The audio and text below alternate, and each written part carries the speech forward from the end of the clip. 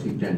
Ini antioksidan setiap kali kita pakai, tidak tahu uh, kita ya sebenarnya empiris ya, karena kita nggak nggak nggak memeriksa apakah memang dia butuh, memang perlu ada indikasinya atau enggak. Pokoknya idiopatik atau apa kita kasih antioksidan dan antioksidannya itu kan macam-macam ya kita nggak tahu yang mana yang yang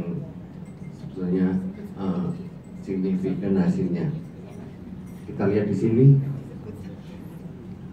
ya menurut literatur dari ini ya dikatakan bahwa oksidatif stres yang menyebabkan kerusakan dari sel itu karena peningkatan ROS itu pada pasien-pasien kita itu dikatakan antara 30 sampai 80 persen kasus. Kita mengingat kembali susunan dari spermatozoa, jadi ini kepala, ini midpiece, ini leher, midpiece, principal piece dan end piece.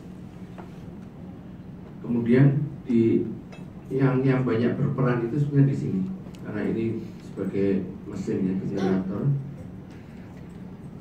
terdiri dari ini dari plasma membran itu kondensat ini outer dense fiber ini ini ini untuk yang menggerakkan hubungan dengan motilitas